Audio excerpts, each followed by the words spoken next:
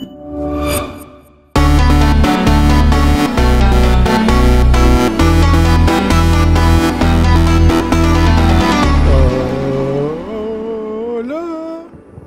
¿cómo están todos? Ya tenemos campeón, el Atlas, el bicampeón, qué bonito. Y ahora vamos a hacer un... Bueno, se supone que esto iba a ir a mi canal Jaiba Coco Hit, pero es el segmento de 5 vs. Y.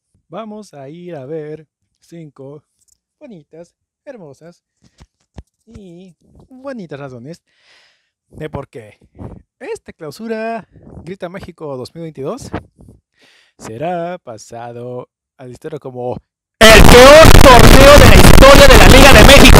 Número 1. Problemas de brecha salarial. Mira, lo que los comentarios de Rafael Márquez a una de las jugadoras de la selección femenil de Atlas han causado muchísimo revuelo en cuanto al problema de la brecha social entre jugadores mexicanos y jugadoras mexicanas. Obviamente, por razones de mercado, por razones de consumo y por razones de patrocinios, no es un secreto que las jugadoras de la liga femenil ganan muchísimo menos que las de varonil. Y obviamente eso es como para decir, amigos, ¿qué estamos haciendo mal?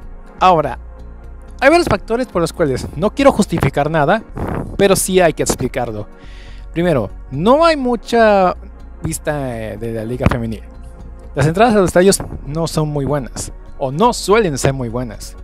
Digo, porque hay veces que sí funciona, como por ejemplo los partidos de Tigres Femenil, nuestras Amazonas, o también el partido de, del final de vuelta en el que Chivas se coronó como campeonas del clausura. Y aún así, el problema es que las mujeres siguen ganando mucho. Mira, con el salario que estoy ganando en el empleo que estoy ahorita, hagan de cuenta que estoy ganando el triple de lo que algunas jugadoras de algunos clubes ganan. ¿No es eso lamentable y deprimente? Yo creo que una de las formas que podríamos hacer para mejorar todo el aspecto de, mejorar el salario de las mujeres es hacer que los patrocinios hagan su trabajo. Busquemos corporaciones que se, que se dedican a invertir en el cuerpo femenino, en el fútbol femenino y todas y las transmisiones que también se hagan en nuevos horarios. Todo eso se traducirá en patrocinios y en buenos salarios de dinero. Y eso se traducirá en buenos pagos para la liga. Y eso se traducirá en una mejora fuerte de salarios para las mujeres. Y eso hará que las mujeres mejoren mucho su calidad porque se enfocarán en el fútbol. Y eso hará que cada vez más gente quiera verlas y las cosas se van a ir dando poco a poco. Como dijo Roberto Gómez Cunco, para que la liga mexicana femenil funcione mejor de lo que está funcionando, hay que mejorar los salarios. Y esto que Katy Martínez es la Becky Lynch del fútbol mexicano porque es la más pagada, ¿eh? Número 4. Hace unos meses se registró un enfrentamiento armado en la cooperativa de Cruz Azul en Hidalgo. No tengo mucha información con respecto al tema, lo que sí sé es que en la cooperativa de Cruz Azul ya empezó el regreso nefasto, poco a poco, pero nefasto, del personaje más nefasto y más malvado de la historia, de la historia, de la historia de la institución, de la empresa. Billy Álvarez va a regresar al poder después de mucho tiempo y eso que creímos que se había ido para siempre, que por el problema, los escándalos y que la Interpol ya lo estaba buscando. Así que podemos declarar con total desprecio que la era Billy 2.0 regresó. No, God! No, God, please, no! No! No! ¡No! Número 3. En los últimos días ya ha surgido muchísimo escándalo por alineaciones indebidas. Pero el que más hizo escándalo obviamente fue el primero de todos, que fue lamentablemente el de los Tigres. Ya hice un video con varias escenas del tema, eh, de lo que fue el programa de fútbol picante. Y honestamente fue algo lamentable. Mira, si de por sí Atlas nos eliminó con un penal en pleno tiempo de compensación, ahora imagínate que nos hayan hecho esto. O sea, era como que, bueno, la teníamos toda, pero no logramos hacer nada. Y ahora resulta que, que Miguel Herrera reconoció, oye, ¿qué pasó con la elección de que no sé qué, que no sé cuánto, que... Y Miguel Herrera dijo, sí, yo acepto la responsabilidad, fue una desconcentración mía, yo nomás quería ganar y no me di cuenta de que había roto el reglamento, que no sé qué. Error mío, completamente desconcentración, completamente el estar pensando en los goles. Ya tenía yo el cambio en la cabeza y Hugo viene y me dijo que no podía más, que me dolía mucho la espalda de un golpe. Carajo, me das vergüenza. Oh, qué asco siento. Mejor me voy a casa. Mira, Piojo Herrera, si no conoces el reglamento, ¿para qué te tenemos aquí en Tigres? Tienes que largarte. Pero también después de todo el escándalo y todo el odio que se llevó eh, la afición y el equipo de Tigres después de semejante vergüenza y, y, aparte del castigo que nos dieron que fueron la eliminación de los goles de Tigres, lo cual terminó que el clausura que, que, al final el partido se convirtiera en, en 5-0 en el global, lo cual obviamente no cambia nada porque todavía de todas maneras perdimos. Surgieron dos casos de eliminaciones indebidas en varias jornadas. Una con respecto a Puebla y otra con respecto a, los Gallos Blancos de Querétaro. No hicieron tanto ruido por dos razones.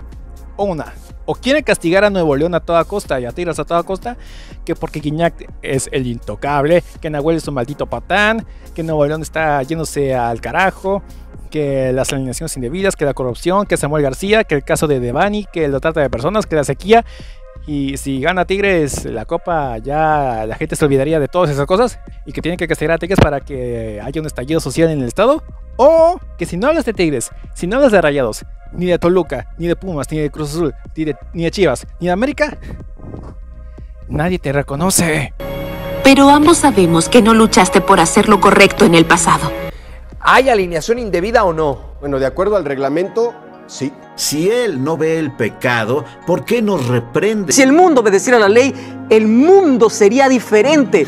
No puede ser posible que, que quien No, te escribió, técnico aquí es quien te escribió digan que va a haber investigación si, si Atlas se queja. Eso tiene que ser de oficio, pues es una alineación indebida. And I can't forgive because nobody admits anything they've done! Número 2. Esta sí ya es un desastre por donde la veas. Fuga masiva de técnicos. Hoy es el día opuesto. Hubo una fuga masiva de técnicos a nivel nacional. En todo lo que va de clausura, no habíamos visto tanto reemplazo de técnicos en la historia. Los que más sonaron hasta el momento son Pedro Caixinha, que se fue de Santos, Marcelito Michele Año, que se fue de Chivas para ser reemplazado por Cadena, Santiago Solari, que dio el peor arranque de la historia de la América, Siéntete orgulloso. Santiago Solari, siéntete orgulloso porque tienes el peor arranque con América en 64 años. Te has vuelto loco, Solari. Y sí, como lo dijo precisamente Dionisio Estrada, tu planteamiento fue pusilánime. que fue reemplazado por el Tan Ortiz. Y en plena liguilla reemplazaron a Juan Reynoso. Lo despidieron totalmente. Y antes de empezar la liguilla, echaron al Tuca Ferretti por pésimo desempeño y por dejar al equipo en el último lugar de la tabla. Y eso que ni te cuento de otros equipos que se deshicieron de técnicos. O sea, el de San Luis también. En cuanto se deshicieron de, del anterior, puf, se fueron con todo. Y ahora, a ver, ¿qué hacemos con todo esto? No había visto tantos técnicos despedidos en todo lo que va del torneo, incluyendo liguilla. Un desastre por donde lo veas, o sea, ¿qué rayos acaba de pasar? Uno de los pocos que todavía se mantiene es Andrés Lilini y no sé por qué lo mantuvieron si, si por causa de él ahora la liga ahora el fútbol mexicano ya perdió toda la hegemonía de CONCACAF. O sea, no me fastidies. Y la razón número uno y la más importante de todas y les confieso algo, por causa de este flagelo empecé a interesarme en Travis Scott como artista y especialmente en lo ocurrido con Astro World. No es broma, es en serio. ¿Por qué? Porque sí, igual de lo que pasó con Astro World, o eso me han asegurado muchos usuarios, la masacre de la corregidora de Querétaro también fue planeada y fue un sacrificio satánico.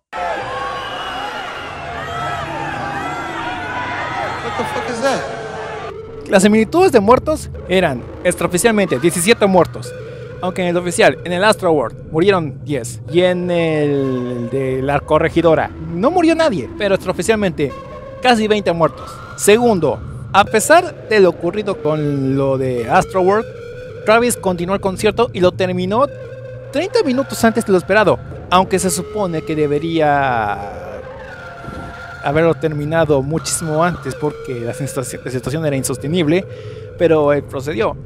Hasta el mismo Travis dijo que no sabía que esto iba a ser tan grave. I could just never imagine the severity of the situation. I'm honestly just devastated.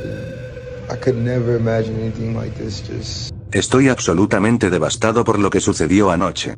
Mis oraciones están con las familias y las personas afectadas por lo que sucedió en el Festival Astroworld. El Departamento de Policía de Houston cuenta con todo mi apoyo mientras continúan investigando la trágica pérdida de vidas. Estoy comprometido a trabajar junto con la comunidad de Houston para sanar y apoyar a las familias necesitadas. Gracias al Departamento de Policía de Houston, al Departamento de Bomberos y al Parque NRG por su respuesta y apoyo inmediatos. Los amo a todos. Hay que darle la razón porque solo con ver ciertas partes del público que estaban demasiado golpadas, demasiado empaquetadas, era una pesadilla. Yo no quisiera estar en una parte así. Lo mismo pasó con la masacre de la corregidora. La jornada transcurrió sin problemas después de esa masacre de las barras bravas. Continuaron con los partidos programados. Continuaron con el América contra Monterrey. A pesar de esto. O sea, ¿qué rayos pasa con esto? Es un evento sin precedentes en la, en la historia del fútbol mexicano. 17 familias que perdieron a alguien hoy por ir al estadio, güey. A ver un partido de fútbol. Es el peor día, güey, en la historia de nuestro fútbol con lo que acaba de pasar. Siguen buscando lo de los datos. Y, güey, es ya completamente, completamente irrelevante este partido, güey. Creo que todo el mundo que estamos eh, viendo este partido, sea en el estadio o en la casa, dice, si nos enteramos de lo de Querétaro es ya lo menos importante. Les repito, lo vamos a terminar. somebody passed out right here. Somebody passed out right here. Hold on, don't touch him, don't touch him. Everybody just back up. Los castigos que le dieron a Travis, pues bueno, es otra historia. Lo demandaron de bastante, se desapareció durante bastante tiempo y ahorita estuvo haciendo un proyecto para eh, apoyar a las comunidades marginadas de Estados Unidos, especialmente de Houston, y reapareció en los Billboard Music Awards. En el caso de Querétaro ya están planeando comprar el grupo y parece que tendremos gallos hasta final de clausura, a final de- hasta final de esta apertura o mucho más allá, como diciembre de este año.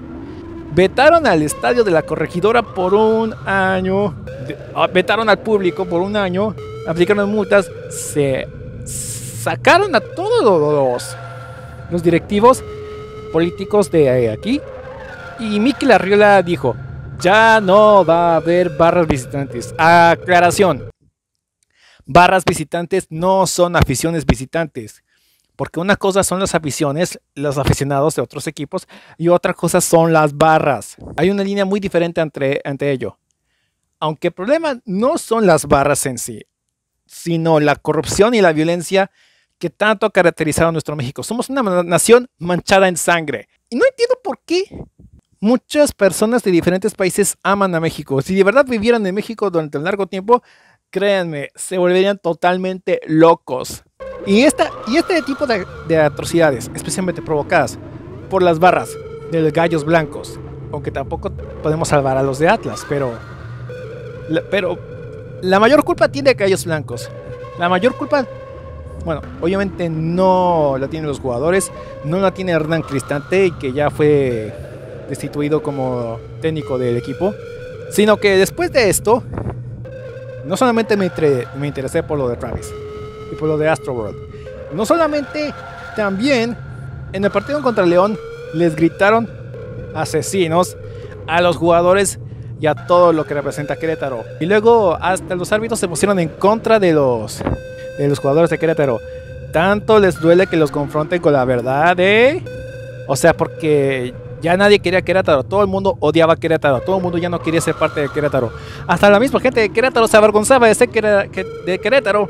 Y con todo y eso, hasta hice un boicot de todo tipo de soccer como casi dos meses. Casi dos meses. Desde ese momento, desde ese día hasta principios de mayo, estuve boicoteando todo tipo de soccer. Lo que es Liga MX, lo que es la UEFA, lo que es selecciones, lo que es etcétera, etcétera, etcétera. Yo ya no quería saber nada porque estaba realmente furioso, estaba, no quería nada, no quería nada, no quería saber nada, no quería saber nada y no quería saber nada. Y hasta tuve que hacer algunos cambios para, en Instagram para, y en Twitter para poner a Minami Natsume de Idol 7 en el fandom de Tigres porque originalmente iba a estar en Querétaro, pero no quiero que lo funen. Sí, ya sé, mi mundo es demasiado retorcido, pero, pero cuando suba un video de los personajes de 7 y la Liga MX ya lo entenderán. Y con todo, y con lo de Travis, y con la tragedia de Astroworld, y con lo del partido contra León, y con el boicot, no fue suficiente. ¿Quién se llevó los platos rotos? La Liga de Expansión. Jugaron durante un largo tiempo sin público. O sea, ¿qué rayos? ¿Me quieren ver la cara de bobo? O sea, ¿qué culpa tiene la, la, Liga de Expansión de lo que hizo Querétaro? Por favor. No, no, no, no. Ahora resulta que ya descancelaron a Querétaro por la alineación indebida de Tigres. No, hombre. Ahí sí ya nos hicieron la... No, no, no, no, no. La tristeza hecha. Está al otro lado. El peor torneo de México en la historia. Que por lo menos terminó de como la gente decente. Terminó de la forma más decente posible. Con un bicampeonato. Pero por lo demás, eso no va a quitar que va a ser el peor torneo de la historia y eso nunca se va a borrar.